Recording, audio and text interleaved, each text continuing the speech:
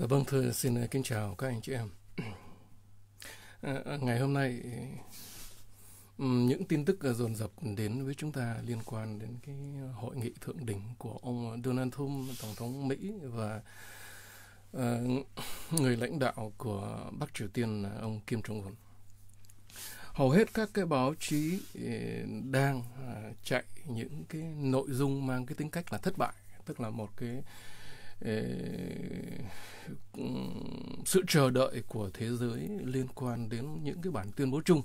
Một cái bản tuyên bố chung với những nội dung ờ, gọi là tích cực à, mang tính cách thuận lợi cho ờ, cho thế giới nói chung ờ, cho Bắc Triều Tiên cũng như là cho Hoa Kỳ và cho Biển Đông, Thái Bình Dương và vùng Hoa Đông nói riêng.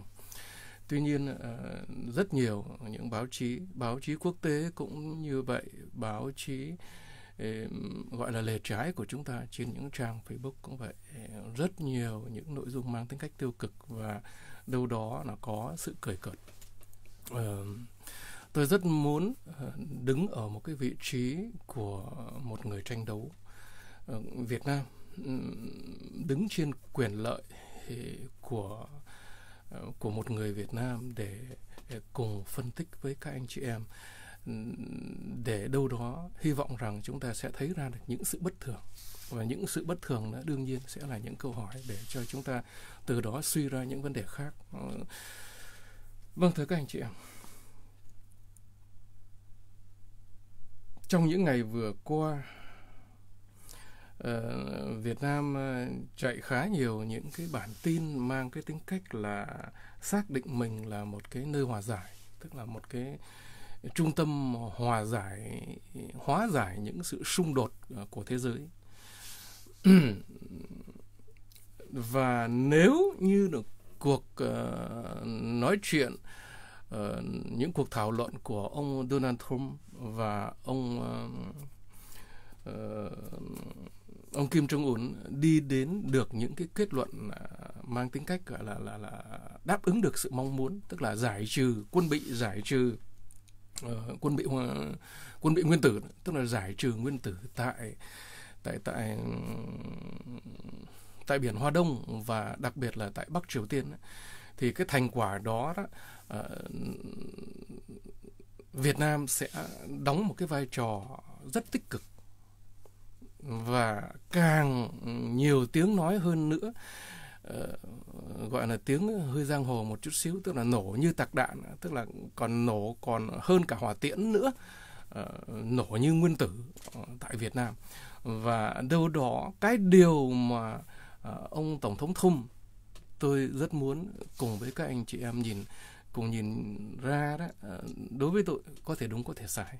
Vâng thưa các anh chị em có thể đúng có thể sai. Bởi vì suy nghĩ của tôi nó chỉ là suy nghĩ của cá nhân mà tôi nhấn mạnh lại với các anh chị em điều đó. uh, Ờ, không mang cái tính cách à các anh phải nghe tôi hay các anh nên nghe tôi mà chỉ là một cái gợi ý gợi ra với nhau để cho chúng ta cùng suy luận cùng đặt một số những câu hỏi.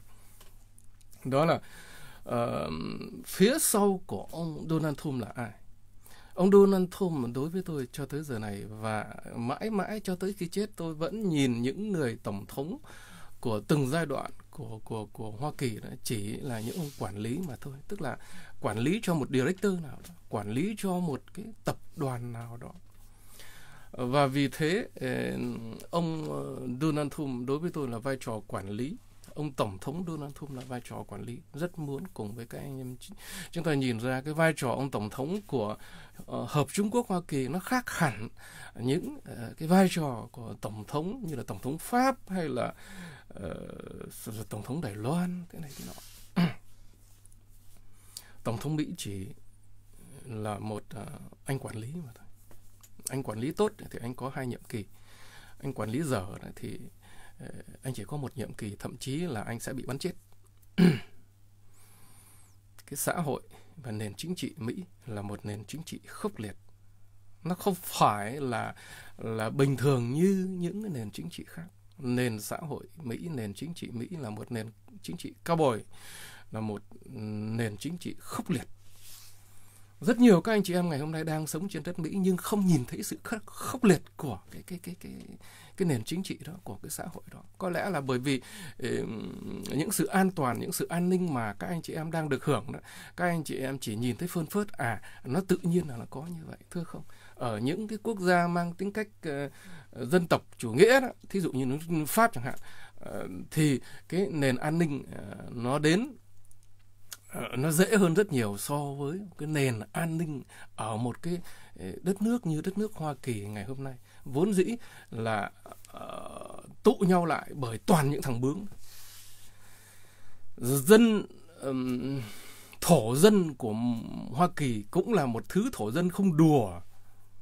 Thổ dân da đỏ của Hoa, Hoa Kỳ không phải là một thứ đùa được và những người ờ, bỏ xứ sở của mình để đến ờ, nước Mỹ để lập nghiệp nó cũng không phải là hạng đùa. Những người đó không phải là cái cái cái cái thứ mà xã hội có thể đùa được, lịch sử có thể đùa được. Đó là những con người đi mở nước, đó là những con người đi mở đất và họ mở đất bằng tư tưởng lớn, bằng kỹ thuật nhiều, bằng kỹ thuật sâu cho nên đó là điều nó khác nhau rất nhiều. Khi nhìn về cái chuyện điều hành một đất nước như là đất nước Hoa Kỳ nó khác hẳn tất cả những quốc gia khác quốc gia Đức quốc gia Pháp hoặc là những quốc gia Bắc Âu uh, hoặc là những quốc gia tại tại tại tại Á Châu khác hẳn. Chúng ta nhìn vào cái cái cái cái cái tình trạng của của tàu là, là chúng ta thấy rõ ràng là cái khả năng lãnh đạo cái khả năng điều phối một cái xã hội cực kỳ là hỗn tạp. Nhưng những sự hỗn tạp đó được, được khởi động được dẫn đạo bởi những con người dữ dằn bởi những con người khí phách bởi những con người trí tuệ. Đó là Hoa Kỳ nó khác hẳn với Trung Hoa. Trung Hoa cũng là những sự ờ, uh, tả bí lù tức là ráp lại với nhau sáp lại với nhau. Nhưng cái hành vi sáp lại và cái bản chất của những con người sáp lại đó, nó nó hèn kém nó nó nó nó nó, nó khác hẳn với uh, hợp Trung Quốc Hoa Kỳ. Cho nên uh, Trung Hoa trước hay sau gì nó cũng sẽ phải bị bị tách ra nó sẽ bị vỡ ra.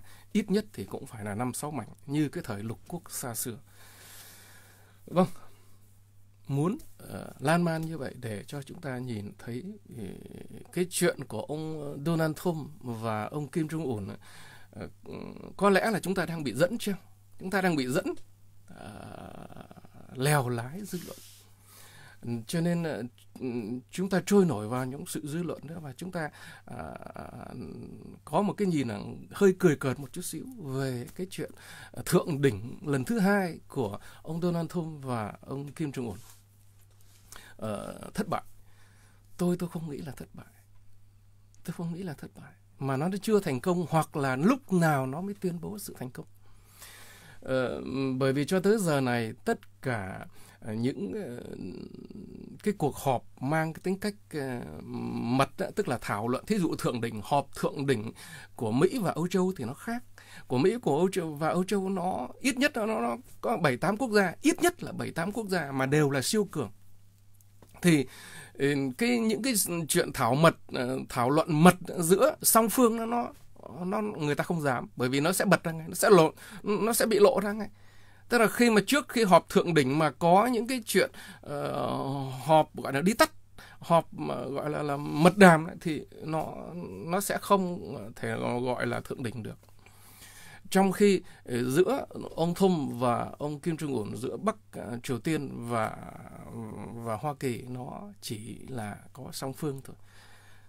Và trong cái bối cảnh song phương như vậy tôi nhìn rằng những sự mật đàm đã được thảo luận với nhau những mật đàm đã có với nhau. Và ờ, cái vấn đề là những thỏa thuận của những mật đàm đó lúc nào thì tuyên bố lúc nào thì thì công bố ra. Uh, và công bố ở đâu? Thứ nhất là thời điểm nào thứ hai là công bố ở đâu? Tôi lập lại một cái chuyện ý đồ của ý đồ chiến lược của uh, khối đứng đằng sau tức là khối siêu quyền lực đứng đằng sau của ông Donald Trump là trong vòng ít nhất là 3 đến 5 năm phải giải trừ cái gọi là xã hội chủ nghĩa trên thế giới khi người ta đang nỗ lực để giải trừ cái gọi là xã hội chủ nghĩa thì người ta đùng đùng đùng đùng người ta đến Việt Nam và người ta tôn vinh ờ, ông Việt Nam lên ư mà Việt Nam là gì? Việt Nam là một cái mô hình xã hội chủ nghĩa và mô hình xã hội chủ nghĩa tồi bại nhất trong các mô hình xã hội chủ nghĩa. Gian dối nhất, tồi bại nhất. Thì nếu cuộc họp thượng đỉnh này nó xảy ra và nó đưa đến kết luận cả thế giới đều phải phải phải phải phải hoan hô, phải mừng rỡ và coi Hà Nội như là một cái tâm điểm ờ, để nhấn mạnh đến cái chuyện hòa giải, để ờ, một cái hình ảnh hòa bình, một cái hình ảnh hòa giải. Tôi nghĩ Thum không điên và đặc biệt bộ sậu của Thum không điên. Họ chỉ có mượn Việt Nam để họ gặp nhau và khi họ mượn Việt Nam là ông Tổng thống Donald Trump sẽ phải đến Việt Nam. Khi ông Tổng thống Donald Trump đến Việt Nam, các cái thế lực quân sự, đặc biệt là hải quân, có quyền được huy động. Và vì thế, trong suốt mấy tháng vừa qua, vấn đề hải quân của uh, của Mỹ đã đã có những động thái hết sức tích cực, hết sức mãnh liệt tại Biển Đông và họ lập đi lập lại Biển Đông là tự do hàng hải. Và phía Việt Nam trong một thời gian gần đây khoảng hơn một tháng trở lại đây thì cũng trôi nổi theo với những tuyên bố của của Hoa Kỳ đó là tôn trọng tự do hàng hải. Nói như vậy nghĩa là chấp nhận uh, cái đường lưỡi bò khổng lồ của Trung Quốc ờ, là vô nghĩa lần đầu tiên chúng ta nghe thấy được một sự xác định như vậy. Và cũng là lần đầu tiên trong khoảng hơn một tuần lễ vừa qua, hai tuần lễ vừa qua, chúng ta nghe thấy ông Nguyễn Phú Trọng, tức là một người được nhìn là một người rất là hèn hạ đối với Trung Quốc, nhưng không biết vì là bà nhập, thần nhập hay là ai nhập, ma nhập, quỷ nhập hay thần nhập mà ông Nguyễn Phú Trọng dám ờ, đứng lên tuyên bố rằng phải lấy lại Hoàng Sa của của của Việt Nam, phải đòi lại Hoàng Sa lần đầu tiên ông Nguyễn Phú Trọng một người mà chúng ta được uh, rất nhiều uh, hai luồng truyền thông một luồng truyền thông ca ngợi rằng là một vị anh hùng của dân tộc một vị tức là sạch sẽ của của Đảng Cộng sản Việt Nam một người trí thức anh minh tức là một ông sư nào đó uh, ca tụng rằng ông Nguyễn Phú Trọng là một trí thức anh minh đồng thời song song đó là chúng ta có uh, truyền thông lề trái và truyền thông lề trái thì uh, sỉ nhục uh, ông Nguyễn Phú Trọng là tay sai của của của của của tàu cho nên vấn đề chính trị của Việt Nam nó là một cái nền chính trị hết sức đặc biệt. Nhìn vào bối cảnh chính trị của Việt Nam nếu chúng ta chỉ nhìn gọi là nhìn không phải là nhìn 3D đấy, tức là chúng ta chỉ có nhìn 2D thôi, tức là nhìn một chiều thôi đấy. Hoặc cùng lắm là hai chiều đó là chúng ta chúng ta điếc chúng ta không thể nào phân tích được không thể nào nhìn nhận được với cái bối cảnh chính trị Việt Nam nó sẽ đi đến đâu nó sẽ dẫn ra sao và nó đang có cái gì ẩn tàng tiềm ẩn trong những sự kiện đang diễn ra. Trong một số những cái clip uh, trên truyền thông trên truyền thông của của lề chính có đề cập đến cái chuyện là uh, khi mà ông Donald Trump và ông Kim Jong Un uh, ờ, xong cái hội nghị tức là hôm nghị mới mấy giờ thôi xong cái hội nghị đó thì đi ra thì hai người gọi là đi bên nhau đi dạo đi dạo trên một cái cái cái cái cái con đường nhỏ như vậy. Và uh, để người ta gặp hai cái người tức là một một người là là cố vấn uh, an ninh một người cố vấn chính trị của uh,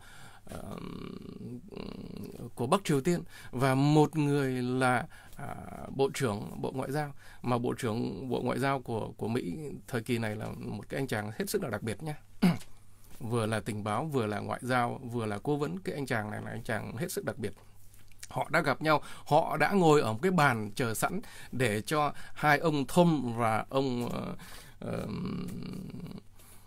ông Kim Jong Un đi ra và chào thì trong cái khoảng một cái cái cái cái thước phim khoảng 2 phút như vậy, những người ờ, bình luận có đề cập đến à sắc mặt của ông này như thế này, sắc mặt của ông kia như thế kia và họ đưa ra một cái nhìn rất là tích cực, chiều hướng tích cực và họ đề cập đến cái chuyện là à thiên thời, địa lợi, nhân hòa tức là nhìn vào những khuôn mặt này đang thể hiện ra và cái kể cả chuyện trời đất là là, là à, đất, trời đất Hà Nội ờ, đang mưa gió bão bùng như vậy đã hết sức nắng trong cái ờ, hai cái ngày gọi là là là hội nghị thượng đỉnh.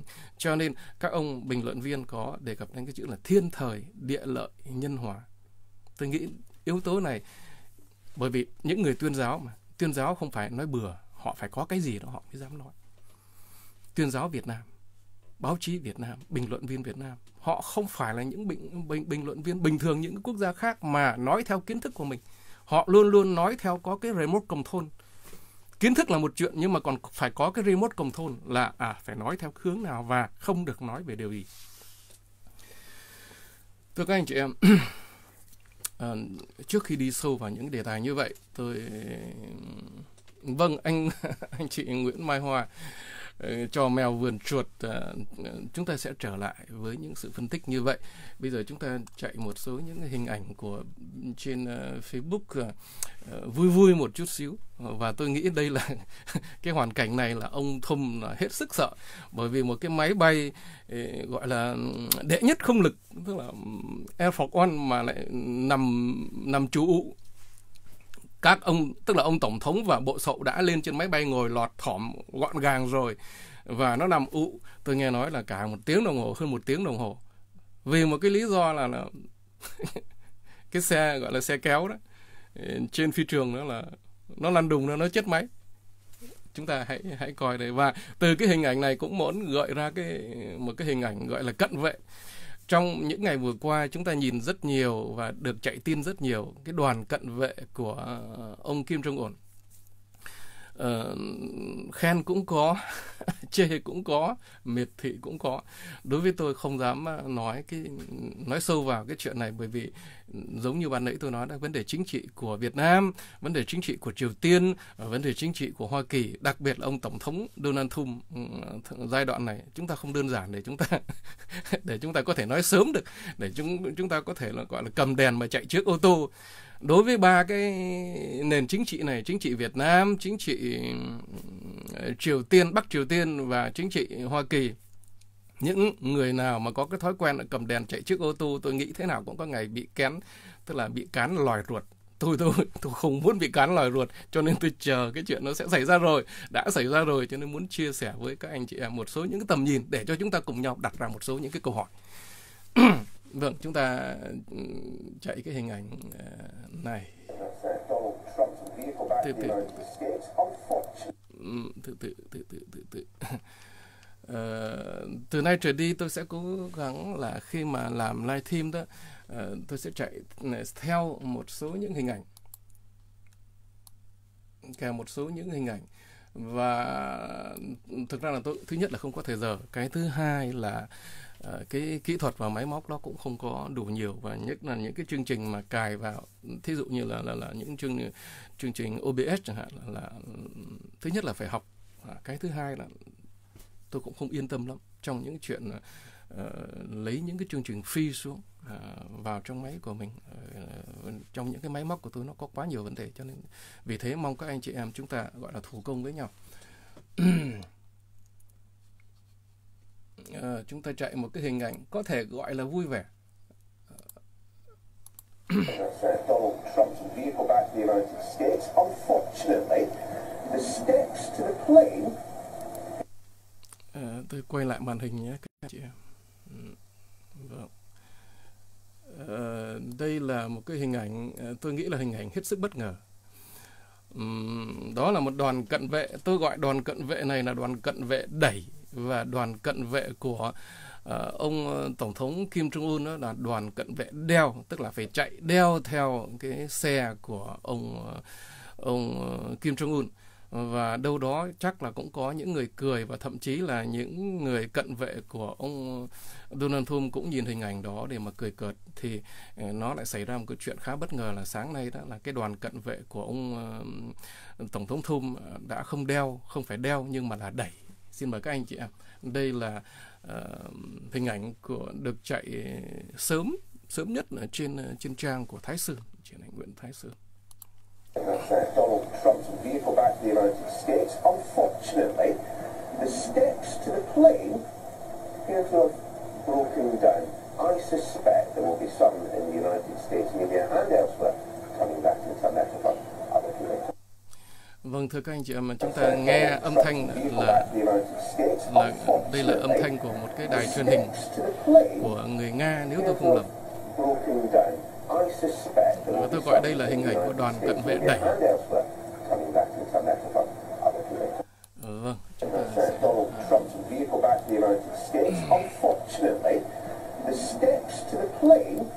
À, vâng, à, từ cái hình ảnh của đoàn cận vệ đó chúng ta uh, liên tưởng và nhìn vào những cái hình ảnh này. Uh,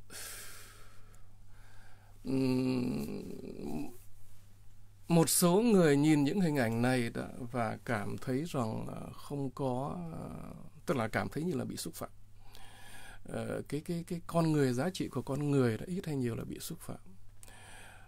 Tôi cũng không không không không dám bình luận gì thêm chỉ có muốn cùng với nhau ờ, chúng ta nhìn ra chân tướng của cái chuyện an ninh của ngày hôm nay ờ, đối với tôi, chuyện an ninh của ngày hôm nay đó à, nó không ờ, gọi là cận vệ như thế này, cận vệ bên cạnh ông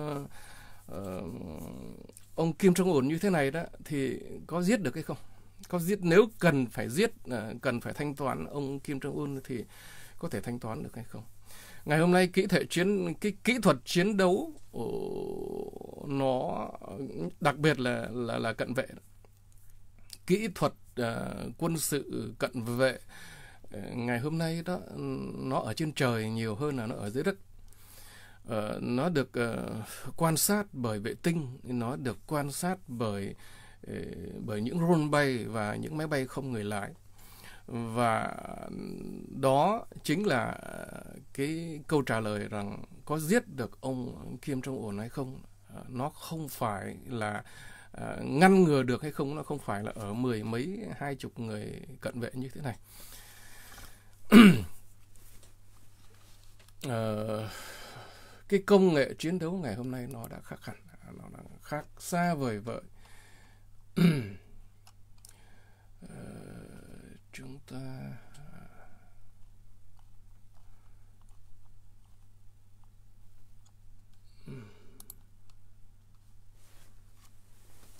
À, tôi muốn ờ, dừng lại ở đây cái hình ảnh này để chúng ta cùng nhau đi vào một số những sự phân tích.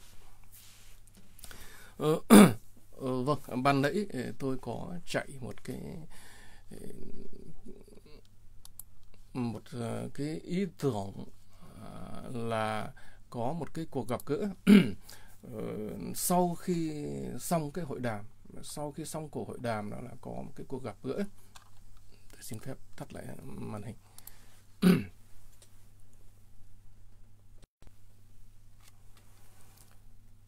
Vâng uh, vừa xong cái cái cái cuộc uh, cuộc thảo luận của hai người nguyên thủ đó, thì ờ, khi họ đi ra khỏi cái cái phòng họp đó thì họ còn đi trên một cái con đường nho nhỏ và có gặp ờ, những ờ, tức là hai người đã ngồi sẵn ở ngoài đó đó là một ông là cố vấn chính trị, cố vấn cho ông Kim Jong Un và một ông là bộ trưởng bộ ngoại giao.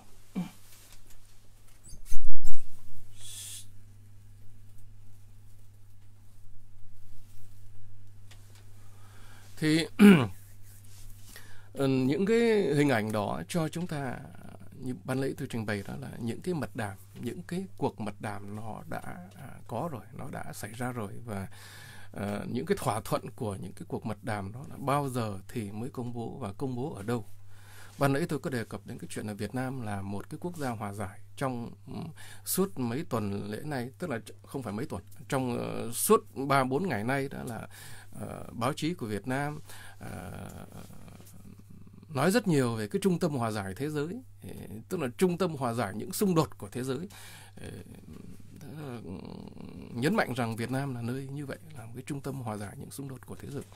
Thì điều này đó nó có một cái tác động tâm lý rất lớn đối với thế giới. Nếu như cuộc gặp của gọi là cuộc gặp thượng đỉnh của ông Trump và ông ông Kim Jong Un mà được công bố trọn vẹn được công bố thành công thì cái tâm lý thứ nhất là, là thế giới sẽ nhìn vào ờ, cái cái cái cái cái sự thành công này và lồng ghép sự thành công này vào với Hà Nội, vào với Việt Nam, vào với cái trung tâm hòa giải của thế giới. Cái tâm lý thứ hai nó nó tác động cho những người tại Việt Nam vì yếu thông tin, vì mù mờ thông tin cho nên sẽ nhìn nhận sẽ bị dẫn theo cái truyền thông của Việt Nam rằng à à, chúng ta tức là chúng ta là con gà nhưng chúng ta sẽ vẽ chúng ta thành con công và chúng ta sẽ nhảy múa cái điệu múa công của chúng ta một cách kiêu ngạo một cách kiêu mạn và chúng ta vỗ ngực bình bịch chúng ta nói rằng à chúng ta là những người hòa giải những xung đột của thế giới hòa giải xung đột của thế giới là sao nếu mà cái tầm của chúng ta thấp thì chúng ta không thể hòa giải được chúng ta hòa giải được tức là hai thằng nó đang đánh nhau hai thằng nó đang uh, nhăm nhe nó đem uh, nguyên tử nó đánh nhau. Chúng ta muốn hòa giải được thì chúng ta phải là ít hay nhiều chúng ta phải hơn họ. Hoặc không hơn về quân sự thì phải hơn về đạo đức hơn về xã hội hơn về chính trị. Trong khi đất nước Việt Nam ngày hôm nay không có cái gì là hơn cả. Chúng ta chỉ là thằng ăn mày thôi. Trở lại cái câu có một một cái nick ờ, của chị anh chị Lê Linh khi gợi ra một cái cái cái cái hình ảnh hết sức là cụ thể. Đó là uh, uh, một uh, anh chàng đại tư bản. Một thằng đại tư bản đã gặp gỡ để thảo luận một câu chuyện quan trọng với một uh, với một thằng uh, thằng ăn gì? Thằng tức là với một thằng ăn mày bên cạnh cái cái cái cái tức là trên đất nước của một thằng ăn mày.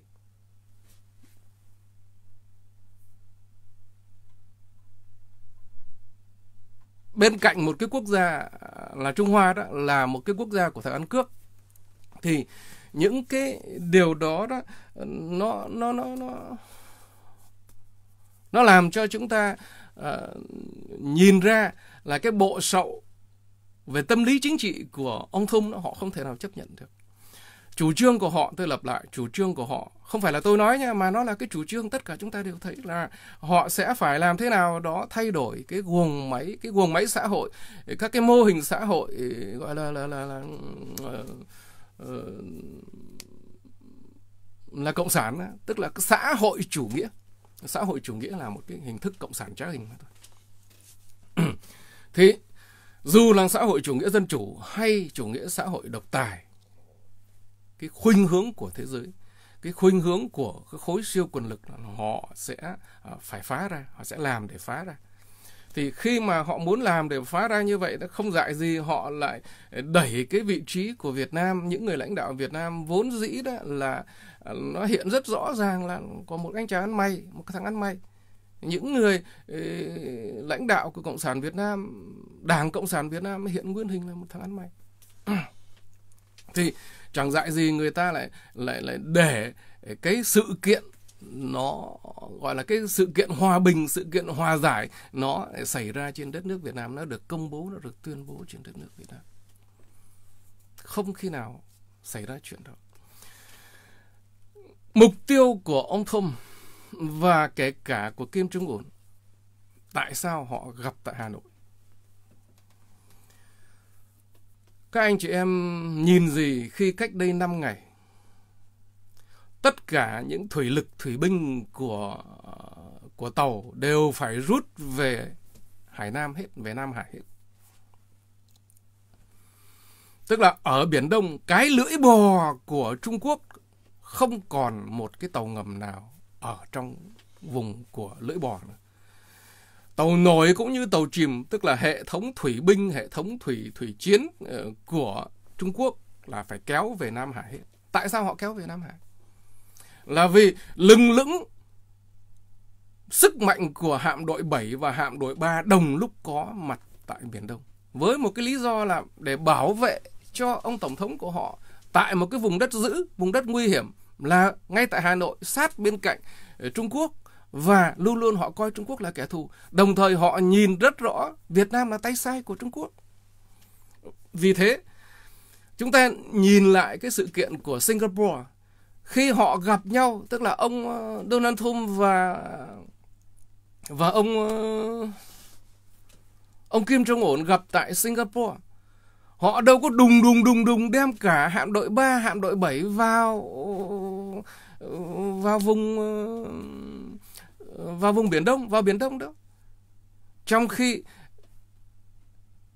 để mà bảo vệ gọi là bảo vệ cho tổng thống Donald Trump thì trước đây họ đã tuyên bố rất rõ Mỹ họ đã tuyên bố rất rõ ràng là vùng biển Đông là vùng tự do ờ, hàng hải, vùng tự do đi lại. Mà đã là tự do hàng hải là những cái vật cản nào, những cái ừ, tàu ngầm nào mà cản lại cái cái cái cái cái cái cái, cái chuyện đi lại tự do hàng hải là họ đục liền. Họ đã tuyên bố rất là rõ ràng cái thái độ của Mỹ nó là như vậy.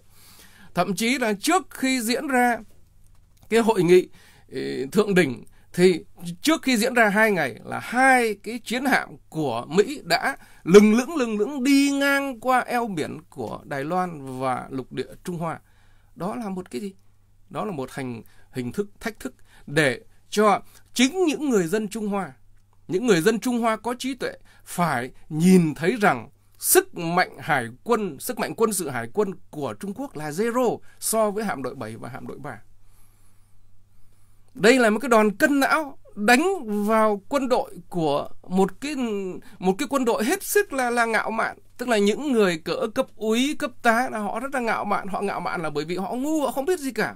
Họ luôn luôn nghĩ rằng à, à, sức mạnh quân sự của Trung Quốc của hải quân Trung Quốc ngày hôm nay là số một của thế giới. Thì khi lừng lững lừng lững các cái đoàn uh, tàu chiến của hạm đội 7 và hạm đội 3 đi vào trong uh, trong biển Đông và cũng là ùn ùn ùn ùn giật lùi của cái gọi là thủy binh, cái gọi là tàu ngầm và tàu nổi của Trung Quốc phải giạt hết thu hết về ờ, ờ, về về Nam Hải. Rồi sau đó che đỡ đi cái sự nhục nhã đó bằng cái cách là quy tụ về Hồng Hải tức là uh, đi lên trên phía bắc một một chút xíu để gọi là tập trận ở Hồng Hải đó là một cái cái cách che giấu cái sự khốn nạn của mình che giấu cái, sự hèn hạ của mình che giấu cái khả năng quân sự bét bẹt của mình của Trung Quốc cho nên nếu gọi là thành công thì đây là thành công lớn nhất của Thung.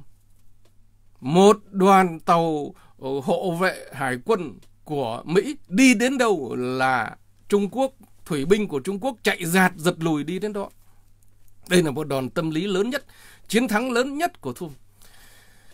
Gợi ý lại với các anh chị em là tại sao ở Singapore thì lại không không có gọi là hạm đội 7, hạm đội 3 un un un un vào biển Đông để bảo vệ ông ông, ông tổng thống Thum. Cũng là một ông tổng thống Thum bay đến vùng Đông Nam Á. Vậy thì tại sao Ông Tổng thống Thum khi đến Singapore thì không có hạm đội 7, hạm đội 3 ghê gớm ờ, bảo vệ. Không có cái chuyện là tàu quân sự của của Trung Quốc phải chạy dạt hết về phía Bắc, phải chạy dạt hết về Nam Hải. Trong khi ông Thum đến Việt Nam là là phải chạy dạt hết. Cho nên chúng ta cần phải nhìn ra bản chất của vấn đề. Sự kiện gặp nhau của ông Thum và của Kim Trung Un nó là một đòn tâm lý chiến cực kỳ lớn tại Biển Đông. Nói đến Biển Đông nghĩa là nói đến đường lưỡi bò, nói đến Việt Nam và nói đến Trung Hoa lục địa. Chúng ta hai cái ngày ngày hôm qua và ngày hôm nay. Ngày hôm nay người ta nhìn thấy là à nó là một cái gì đó nó bẽ bàng. Tại vì không có báo chí nào ừ, ồn ào lên nữa. Trong khi ngày hôm qua những cái cuộc họp của của của những cuộc gặp gỡ của ông tổng thống Mỹ tại Việt Nam được chào đón, được chào mời một cách hết sức là đặc biệt. Thậm chí đưa ra sự ký kết đến 21 gần 22 tỷ đô la cho những chuyện trang bị uh, phi cơ cho Việt Nam, phi cơ kể cả quân sự lẫn là là là là uh, phi cơ thương mại. Cái điều đó nó là một cái nó là một cái hành động tát tai đối với tức là học trò tay sai đi tát tay thằng chủ đối với Trung Quốc. Cái hành động của Việt Nam uh, khi ngả đó là một thái độ ngả hẳn về bên Mỹ. Và trong cái bối cảnh ngày hôm nay khi mà tàu khi mà Trung Quốc bị bao vây tứ phía hết và cái thằng đàn em của mình nó nhảy lên trên gọi là chó nhảy ban độc nó nhảy lên trên bàn và nó giơ tay nó tát ngay vào mặt của của tập cận bình tát ngay vào mặt của của của của của trung cộng khi đưa đến cái đưa ra cái chuyện ký kết đến 21 hơn 21 tỷ gần 22 tỷ đô la à, về ờ, về cái chuyện mua bán à, máy bay. Chúng ta chưa nói đến cái chuyện là à 22 tỷ đó nó có phải là cái chuyện ký khống nó phải là cái chuyện uh, tiền ảo hay không? Nhưng đừng đùa cái chuyện nếu như là chỉ ký giữa hãng này với hãng kia giữa tức là những cái hãng của Việt Nam ký với hãng Boeing của Mỹ thì nó khác. Đây nó ký trước mặt tổng thống Trump. Nó khác với cái chuyện ký trước mặt của Obama hay là Bill Clinton. Ký trước ông Trump ông Trump là cái gì?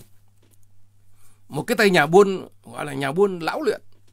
Không đùa được với một tay tư bản nhà buôn lão luyện như thế này. Cho nên cái chuyện 22 tỷ đó có thể là ký kết rằng mua máy bay là 22 tỷ nhưng tiền đó là cánh thum đó à cái thế lực siêu quyền lực đó, à trả sau ngày hôm nay chúng mày không có đồng nào hết. Ok lấy máy bay về sai 5 năm sau 10 năm sau phải trả cho chúng ta. Và cái điều đó nó xảy ra giữa uh, Việt Nam và Anh Mỹ. Gần như là ờ, bán không vốn bán không phải trả ngay tức là bán trả góp. Mà chỉ có thằng Mỹ có thể làm được thôi. Chỉ có cái khối siêu quyền lực Mỹ mới có thể làm được thôi. Và bảo rằng cả hàng trăm chiếc máy bay như thế hàng trăm chiếc máy bay Boeing như vậy nó phục vụ cho ai? Nó phục vụ cái gì? Cho nên ừ, bảo rằng hai hãng, mỗi hãng trăm, hãng thì trăm cái máy bay Boeing, hãng thì ừ, 10 cái máy bay Boeing hay là ba chục cái máy bay Boeing. Cái đó chúng ta cần phải nhìn lại. Cái số 22 tỷ đó, nó, đối với cái nhìn của tôi, nó sẽ không phải là Boeing. Cùng lắm, Boeing nó chỉ có một phần ba hoặc là một nửa thôi. Cũng là Boeing đó nhưng mà Boeing chiến đấu. Ký với hãng Boeing đó, nhưng mà không phải là những cái máy bay dân sự, mà là những máy bay chiến đấu cho nên, đâu đó chúng ta đang cần phải nhìn cái sự kiện diễn ra, sự kiện chính trị ừ, diễn ra tại Việt Nam nó đang hết sức là đặc biệt. Không thể đơn giản để để để chúng ta lường định được. Cái cú này là cái cú hết sức là nguy hiểm của Nguyễn Phú Trọng. Và với một con người gọi là ừ, cáo già như Nguyễn Phú Trọng rất là tinh khôn quỷ quyệt như Nguyễn Phú Trọng. Không dễ dàng gì Nguyễn Phú Trọng uh, cách đây một hai tuần tuyên bố một cái câu rất là điên đối với họ rất là điên là phải lấy lại Hoàng Sa. Một cái câu mà suốt ờ, uh, 40 năm nay họ không dám nói. Và bây giờ vì sao họ dám nói? Phải lấy lại Hoàng Sa. Và uh, tuyên bố một cách uh, dữ dội uh, bởi những người phát ngôn nhân của Việt Nam rằng à chúng ta tôn, tôn trọng cái luật hoàng hải, hàng hải quốc tế lặp lại với các anh chị em khi mà tuyên bố rằng uh, Việt Nam tôn trọng luật hàng hải quốc tế đó. nghĩa là cắt đứt đường lưỡi bò. Ngày hôm nay các anh chị em gọi là chúng ta uh, suốt bao nhiêu năm rồi chúng ta đưa cái bảng đường lưỡi bò có cái kéo để chúng ta cắt đường lưỡi bò. Ngày hôm nay cái tuyên bố của những cái sự tuyên bố của Việt Nam cũng như thái độ của của của ông Nguyễn Phú Trọng là một cái hình thức cắt lưỡi bò. Và động lực nào nguyên nhân nào để những người đó dám cắt lưỡi bò? Một con bò một con bò điên tức là thằng Trung Quốc. Cho nên bối cảnh của Việt Nam cái chuyện sức mạnh của hạm đội 7 và hạm đội 3 nói đến hạm đội 7 và hạm đội 3 là là là, là nội hạm đội 7 thôi là 9 con tàu ngầm nguyên tử nhé các anh chị em. 9 con tàu ngầm uh, uh, nguyên tử lớp EIO của Mỹ đã có mặt tại Việt Nam có mặt cả hàng, hàng 2 năm 3 năm rồi. Và uh, khi mà uh, hạm đội 3 vào nữa thì lại một lô của của của của tàu ngầm của của hạm đội 3 vào nữa. Ít nhất là cũng bốn con tàu ngầm của ờ, mà tàu là toàn là tàu tàu ngầm lớp IAO của của của của hạm đội 3 cho nên ừ, chúng ta đang cần nhìn thấy rằng cái trật tự của biển Đông qua hai ngày hôm nay đã bắt đầu thay đổi nó bắt đầu thay đổi từ sự triệt thoái nói đến chữ triệt thoái lại, các anh ừ, bên quân đội Việt Nam Cộng Hòa lại hiện, lại liên tưởng đến cái cái gọi là kế hoạch triệt thoái cao nguyên ờ, của quân lực Việt Nam Cộng Hòa. Triệt thoái, nghĩa là tiêu. Triệt thoái, nghĩa là đầu hàng. Thì cái hình ảnh ờ, 300 hơn 300 con tàu nổi thôi. Chúng ta nói là tàu nổi. Còn tàu chìm bao nhiêu chúng ta chưa biết được. Nhưng mà rõ ràng một khi tàu nổi phải chạy đấy thì tàu chìm cũng sẽ phải chạy. Khi triệt thoái những chiến hạm như vậy, hơn 300 chiến hạm như vậy, nghĩa là đó là một hình thái triệt thoái cao nguyên của Việt Nam Cộng Hòa năm 1974-1975. Và ai đang làm chủ? tại Biển Đông. Và tại sao máy bay của uh, Tổng thống uh, Trump khi bay không bay từ ở Guam để vào thẳng Hà Nội mà họ lại đáp là đáp ở Đà Nẵng. Không phải chỉ có hai chiếc máy bay của tức là là, là Air Force One và Air Force Two tức là uh, đệ nhất và đệ nhị hàng không tạo là, là uh, tức là, là, là quân sự không gian